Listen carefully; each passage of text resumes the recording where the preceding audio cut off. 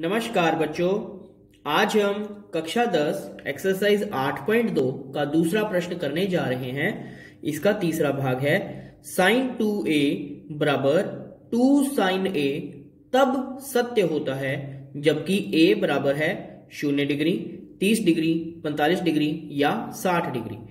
तो हमें देखना है कि इनमें से, इन चारों में से किस कोण के लिए साइन 2a 2 साइन a के बराबर होता है। तो आइए हम इसे करके देखते हैं। तो देखिए बच्चों।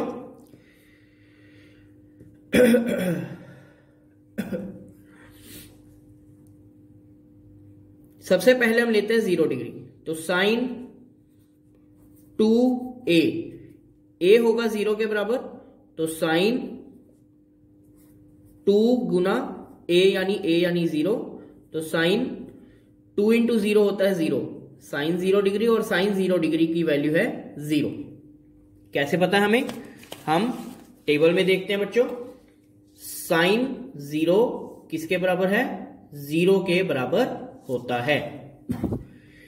इसका मतलब साइन टू ए, यदि ए ज़ीरो के बराबर है तो साइन टू ए हो जाएगा साइन गुना दो गुना ज़ीरो बराबर साइन ज़ीरो डिग्री, यानी कि ज़ीरो। ठीक है? इसके ऊपर हम लिख लेते हैं, यदि ए ज़ीरो डिग्री है। तो इसके बाद हम देखते हैं, अभी हमने सिर्फ़ लेफ़्ट हैंड साइड देखी है साइन टू ए अब हम इसकी राइट साइड देखते हैं टू साइन ए तो देखिए टू साइन ए दो गुना साइन ए ए अभी हमने कितना लिया है? ज़ीरो डिग्री तो देखिए बच्चों, दो गुना साइन ज़ीरो अभी हमने साइन ज़ीरो देखा था, साइन ज़ीरो होता है ज़ीरो के बराबर तो दो गुना ज़ीरो हो जाएगा ज़ीरो। तो हमने देखा ए ज़ीरो लेने पर साइन टू ए भी ज़ीरो आया, टू साइन ए भी ज़ीरो आया, यानी लेफ़्ट साइड भी ज़ीरो आई राइट साइड भी ज़ीरो आई।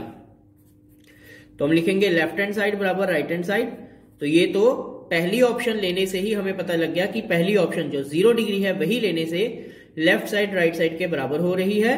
इसका मतलब ए बराबर ज़ीरो डिग्री सिद्ध होता है। या सिद्ध हुआ। इसका मतलब सही विकल्प क्या है? ए सही विकल्प है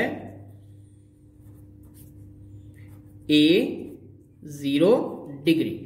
ठीक है बच्चों? ए भाग जो है ज़ीरो डिग्री, यही सही विकल्प है। आशा करता हूँ इस वीडियो के माध्यम से आपको यह प्रश्न बहुत अच्छे से समझ आया होगा। इसी प्रकार, यदि आप इस प्रश्नावली के अन्य प्रश्नों को समझना चाहते हैं तो हमारे चैनल को सब्सक्राइब करके वहाँ पर आप बाकी प्रश्नों के वीडियोस देखकर उन्हें अच्छे से समझ भी सकते हैं और अपनी नोटबुक्स में लिख भी सकते हैं। धन्यवाद बच्चों।